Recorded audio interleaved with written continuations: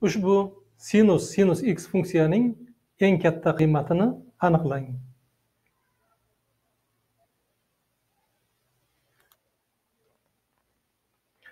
Ushbu funksiyaning eng katta qiymatini aniqlaymiz. Buning uchun argumentdagi sinus x ni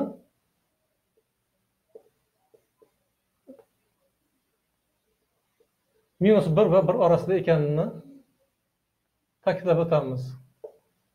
Sinus x minus bir va bir orasida bo'ladi. Demak agar mana bu sinus x ni biz sinus x ni t bilan belgilasak u holda biz quyidagi funksiyani hosil qilamiz. Y teng sinus t sinus x ni t bilan belgiladik. Endi t minus bir va bir oralig'ida. Shunday qilib berilgan funksiyaning eng katta qiymatini topishni quyidagi funksiyaning eng katta qiymatini topishga keltirdik. Minus bir bir oraliq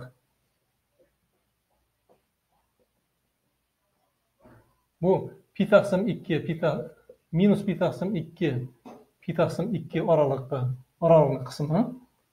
Mana bu oraliqda yotadi. Bu oraliqda sinus o'suvchi demak xususan mana bu oraliqda ham bu sinus o'suvchi funksiya ekan. O'suvchi funksiya o'zining eng katta qiymatiga agar birorta eslatib o'tamiz y teng fx funksiya birta a. Bu oralig'ida o'suvchi bo'lsa.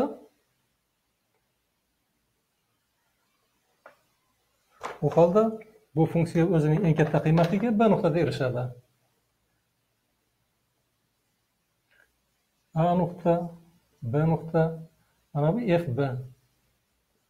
O'zining eng kichik qiymatiga a nuqtada erishadi. Agar fx funksiya bu oraliqda aniqlangan fx funksiya bu oraliqda o'suvchi bo'lsa u holda o'zining eng katta qiymatiga b nuqtada erishadi. Bu ham mana sinusda mana bu oralig'ida o'suvchi o'zining eng katta qiymatiga birda erishadi. Demak bu funksiyaning eng katta qiymati sinus birga teng ekan. Javob berilgan funksiyaning eng katta qiymati sinus birga teng.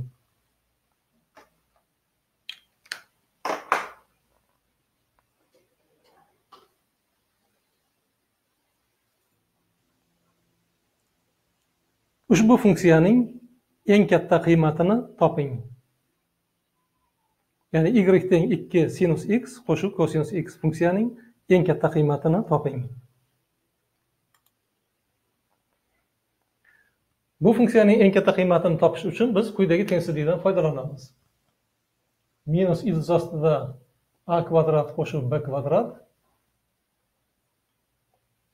A kosinus alfa plyus b sinus alfa. Kichik yoki teng ildiz ostida a kvadrat qo'shib b kvadrat.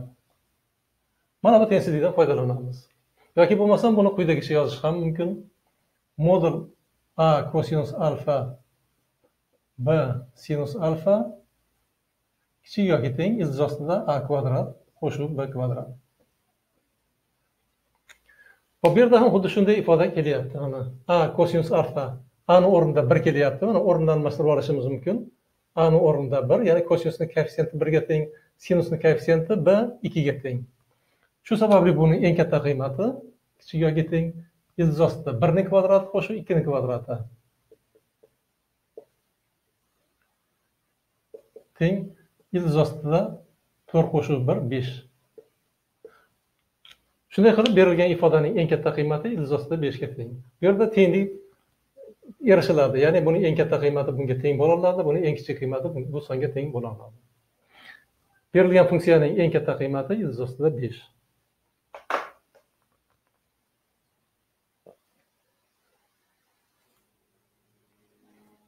Ushbu sinus x minus kosinus x darajasi o'n ikki funksiyaning eng katta qiymatini toping.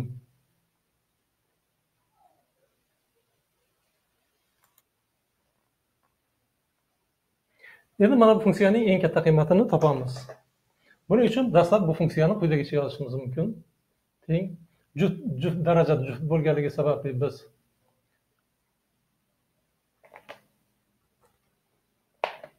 sinus uch x minus kosinus uch x. Qavslarni modulga aylantirib yozishimiz mumkin. O'n ikki. Endi mana bu tengsizlikdan foydalanamiz. Bu yerda kosinusni koeffitsiyenti a bu minus birga teng sinus oldidagi son bu ham birga teng mana birga teng endi mana bu tengsizlikdan foydalansak demak ani o'rnida minus bir bni o'rnida bir kelyapti quyidagi tengsizlikni yoza olamiz ildiz ostida minus birning kvadrati qo'shuv birning kvadrati darajasi o'n ikki o'n ikkinchi darajani o'zini yozamiz. Mana bu ildiz ostida ikkiga teng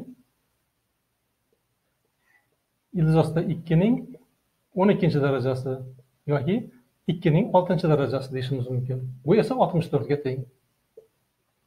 Shunday qilib berilgan funksiyaning eng katta qiymati oltmish to'rtga teng ekan.